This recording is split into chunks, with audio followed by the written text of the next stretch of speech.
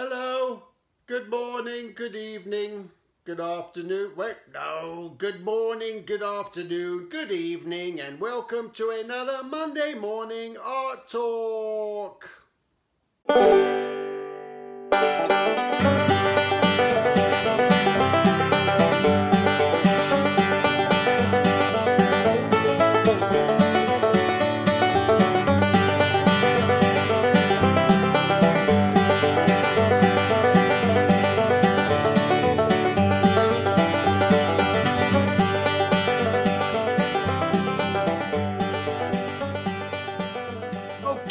So today I want to talk about. Whoa, whoa, I need a shave here.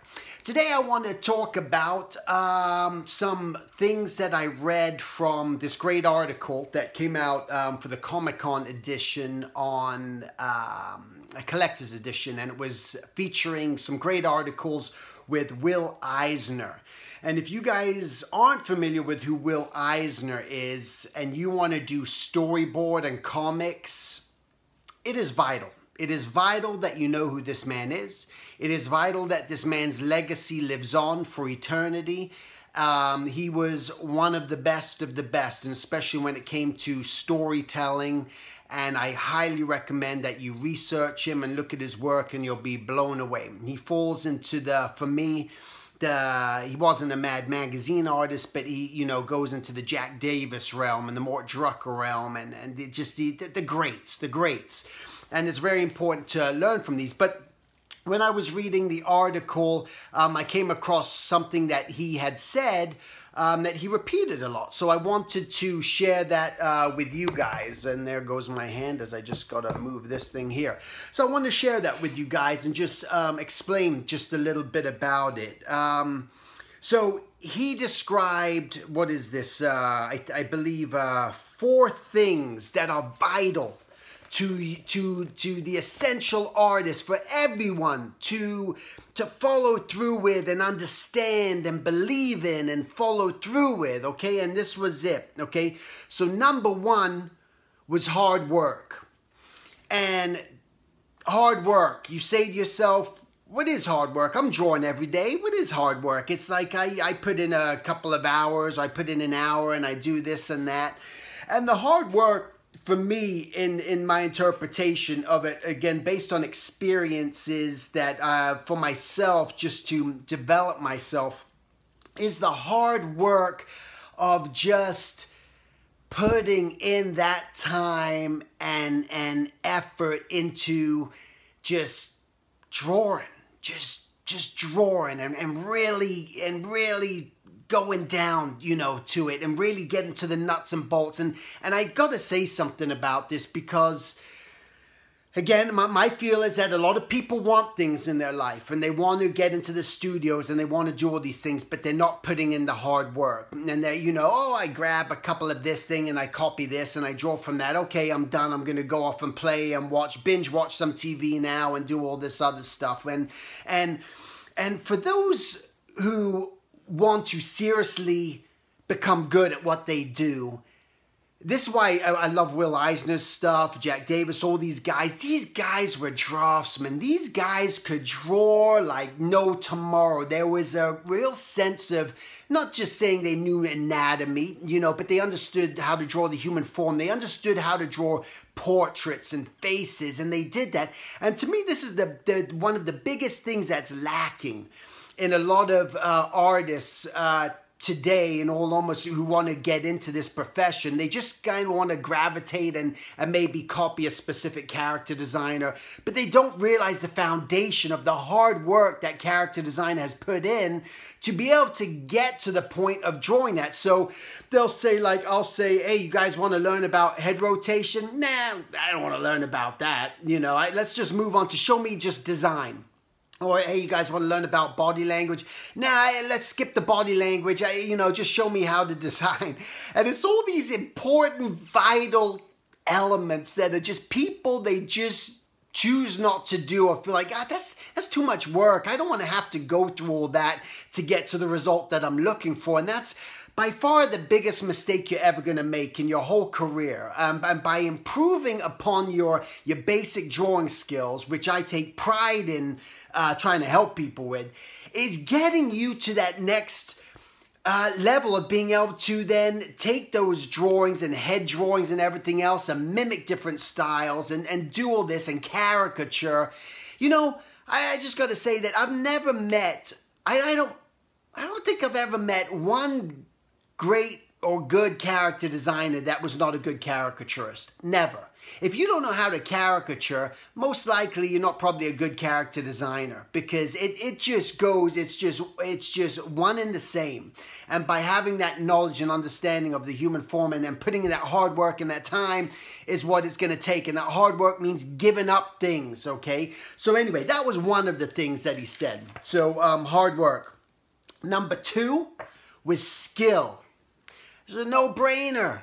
You're not gonna have any job in this industry, whether you go into advertising, entertainment, the animation industry, no matter what you want to do, if you don't have a skill set, and you may not be the best draftsman, but maybe you're a good storyteller, maybe you're a good uh, story writer, maybe you're great at writing, maybe you're good at just uh, your skill is at painting, your skill is at drawing props, your skill is at drawing mechanical things, you, whatever that, the skill the skill, the skill, the skill is another essential vital element. As Will says, we got to have hard work and we got to have skill.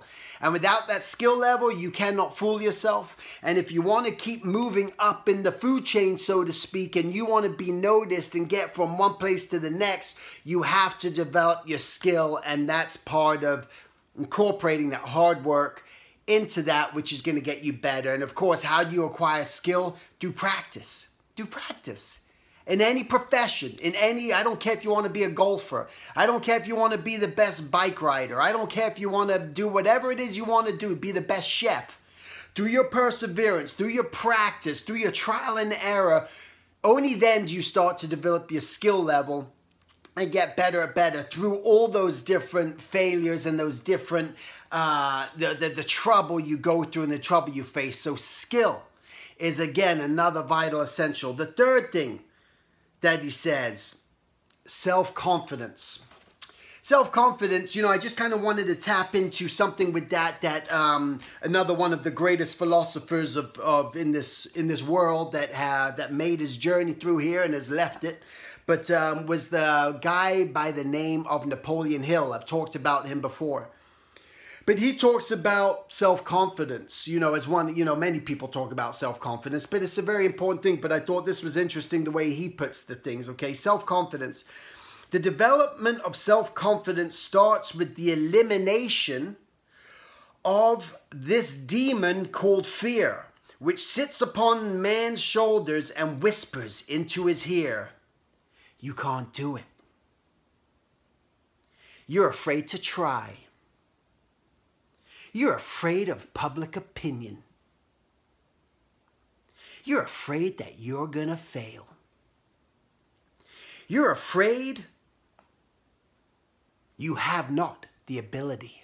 See that? See how that's kind of crazy and stuff? Let me repeat that to you guys. He said, You're feared the whispers in your ear that you can't do it. You're afraid to try. You're afraid of public opinion and you're afraid that you will fail. You are afraid you have not the ability. This fear demon is getting into close quarters. Science has found a deadly weapon with which to put into the flight. And this lesson on self-confidence has brought you to this weapon for use in your battle with the word with the world old enemy of progress, fear. The world old enemy of progress is fear.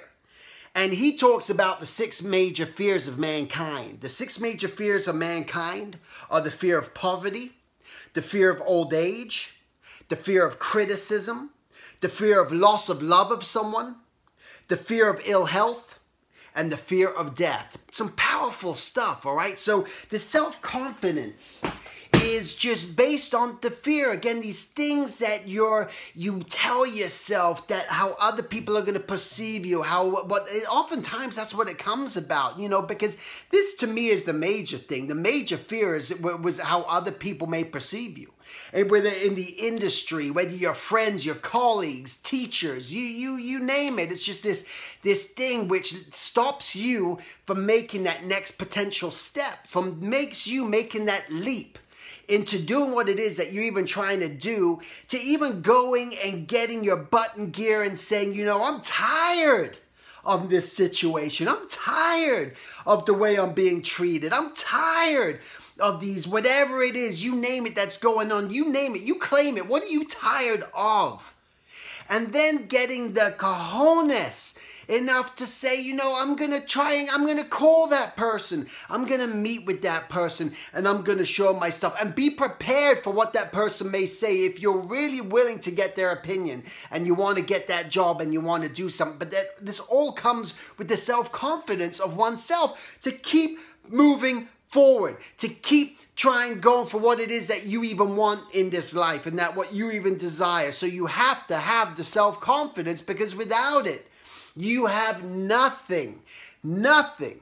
And you say it about anything that's happened in your life, and even again coming down to relationships. So you know if you're a male, female, whatever you are, if you don't have the self confidence in yourself to go even ask that person on a date that you're eyeballing all the time, nothing's gonna happen.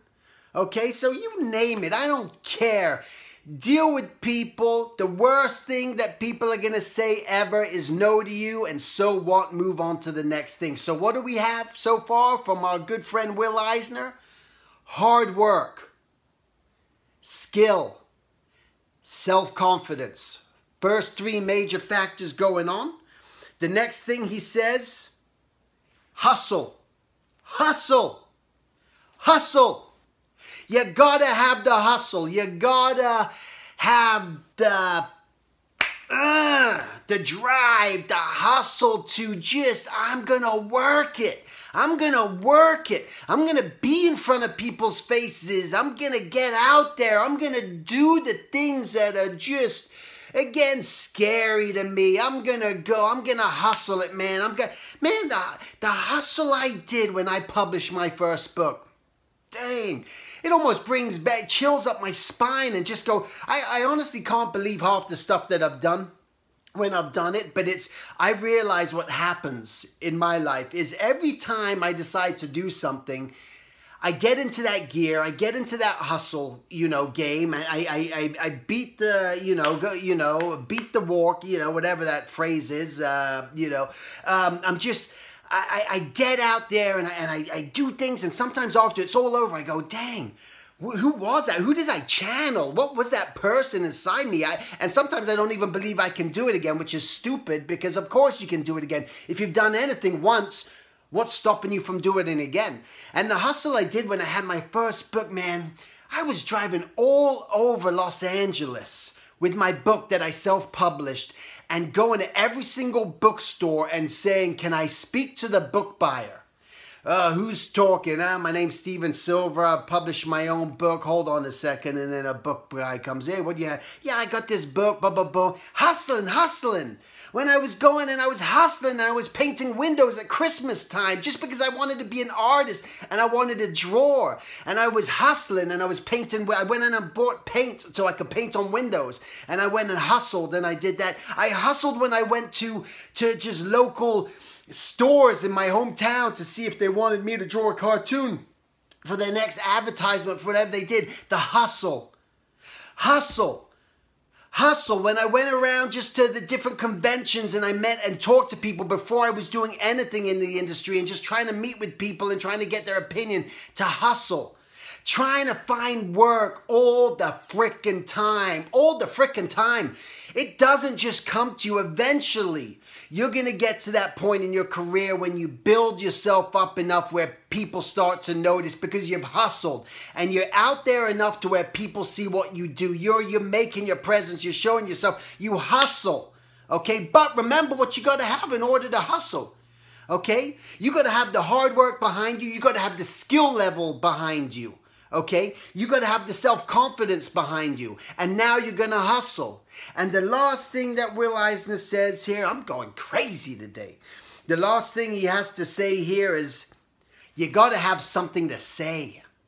You got to have something to say. Now, that's a tricky one. That's a tough one to have something to say. Who are you that you got something to say? What do you, what experiences do you have? What have you learned in life? Where have you been? What have you done? What other profession have you been in? That you're not even an artist, but maybe you are a security guard at some place. Maybe you've seen something horrible and tragic. Maybe you're going through something horrible and tragic in your own life, but maybe you got something to say about it. And you can say that in a in a book form. You know, it's sort of like that that's the thing where people, these people that we admire in their work, it's why we admire it because you know, besides just being, say, a humorous illustrator, where a lot of these guys, their profession was a humorous illustrator, and they they're saying what other people are asking them to say, and it's almost as a character designer. What I'm saying, what I've always done, I'm just saying what other people have asked me to say. They've written it in form, and now I'm taking and translating it into a visual communication through a character design. So I'm saying it in that way, but I feel like my purpose, what I'm saying is through teaching. So I make my books on teaching, and I do all these things because I want something to say in that realm where I'm, I'm, you know, I'm, I'm not a comic book artist. I'm not, I'm not a comic strip artist. I don't have anything to say. I got nothing to say politically. I, I, I keep that, you know, to myself and watch everyone else go mad and crazy. And it's just like, you, you just, if you got something to say, maybe there's a communication. And this is about hard work and trying to find that and not expecting people to give you the answers, but maybe you have something to say about that. Okay. And I think that's important. And it's going to come out in your artwork. And that's where people might react to your work through that. So you're not just necessarily copying someone else's style. And you're not just saying, well, um, because you, can't just be a, a Rockwell clone. It feels like Rockwell, Norman Rockwell said what he had to say he said it through the communication, what he's doing. So just to copy what he's doing, well, it's a fine line to be drawn, but do you have something to say? I mean, these movie makers, they, they're, they're something special. These directors, they're something special. You know, we know who they are. And they're out there and they got something to say in their art form. Well, you got something to say even in your storyboarding, the way that you set it up and the way that you show that. Again, there's so many ways to say something. But again, it's a challenging way. You got something to say with your own art style, okay? So these are important things, and it makes me think about, I remember, you know, my experience, uh, you know, just um, when I there was something that stuck with me, and again, maybe the Holocaust was on my mind because I just came back from Israel and I, and I went through this whole experience, and I was watching that you know, learning more and more about it and was with a Holocaust survivor my whole tour and, and, and got into his mind and his head and learned so much and I was just like blown away. And then it made me realize about, remember that comic book, uh, it's called Maus, M-A-U-S, um, which was about a mouse, these mice, but they're in, in the Holocaust environment, and it was based on the guy who wrote it. I, am not going to say his name. It begins with an S, Spiel something. But anyway, he he wrote about his, I think, parents or grandparents' experience in the Holocaust, and he had something to say, and it, and it, and it got this wild, you know, it was out there, and you know, maybe there's, maybe you believe in animal rights. Maybe that's something. I just watched the most horrific documentary that I've ever seen in my life called uh, by Joaquin Phoenix was doing the documentary and it was called Earthlings. Earthlings. If you get a chance to watch it, my God, oh my, I would have never thought, I, I've been a meat eater my whole life, guys. No more. I, no more. And I was going, dang, if someone was great at drawing animals and wanted to tell a story in that sense, wow, that's something to say going into that realm. So, my, my what I'm trying to say is these these important things of having having that story to tell. But again, what are we referring back to? We're referring to Will Eisner's things that he recommends in order to make it work as a career in this life. What you got to have is hard work, skill, self confidence, hustle, and something to say. So think about following those in your life. Think maybe that's giving you something, some food for thought, something to think about. And that's it. Thanks again for watching. Um, I have a, uh, uh, this coming Wednesday, If you guys want to come up to Simi Valley, up to where I got my drawing studio, and you want something to say, and you want to practice your skill, and you want to hustle and build up your self confidence, coming out here. It's about 35 minute drive from wherever you're at. Look at my website under silvertoons.com under the events and you will see where it's listed. It's $10 for three hours. Come and sketch. Come out and draw with me. All right, there's only about four spots left, I think. So um, depends who gets there first. Thanks again, guys. Make it a great week, and I'll talk to you guys next week. Take care. Hello, this is Stephen, and I just wanted to tell you about this cool thing that I'm doing right now through my website at silvertoons.com. It's a Skype mentorship in a sense, what I want to do is just talk to you, meet you, tell me about things that are happening in your life, see if there's anything that I could do to help you. I can look over your artwork, do your portfolio, and just maybe try to push you in the right direction that you want to take your life and your journey. All right, so you can go to silvertoons.com, go to classes, click on mentorship, and you can learn all about it. We can try to arrange a time, set up a date. It doesn't matter where you live in the world.